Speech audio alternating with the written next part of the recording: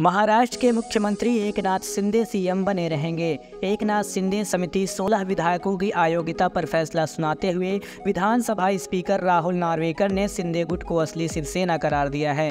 1200 phase का फैसला सुनाते हुए नार्वेकर ने कहा कि शिंदे के साथ 55 में से सैंतीस विधायक हैं, इसलिए यही असली शिवसेना है। साथ ही एकनाथ शिंदे भी आयोग्य नहीं है, चुनाव आयोग ने भी यही फैसला दिया था। स्पीकर के फैसले के बाद उद्धव ठाकरे गुट को बड़ा झटका लगा है। दूसरी ओर ये फैसला मुख्यमंत्री एकनाथ शिंदे और उनके विधायकों के लिए बड़ी राहत है। स्पीकर ने कहा कि शिवसेना संविधान के मुताबिक पक्ष प्रमुख अकेले किसी को भी पार्टी से नहीं निकाल सकते। शिंदे को विधायक दल के नेता पद से हटाने का फैसला उद्धव का था, पार्टी का नहीं। अगर किसी पदाधिकारी को हटाना है तो इसके लिए राष्ट्रीय कार्यकारिणी और प्रतिनिधि सभा का बहुमत ज़रूरी है। उद्धव ठाकरे गुट की तरफ़ से दिए गए पार्टी की कॉन्स्टिट्यूशन पर तारीख नहीं थी, इसलिए वो मान्य नहीं किया गया।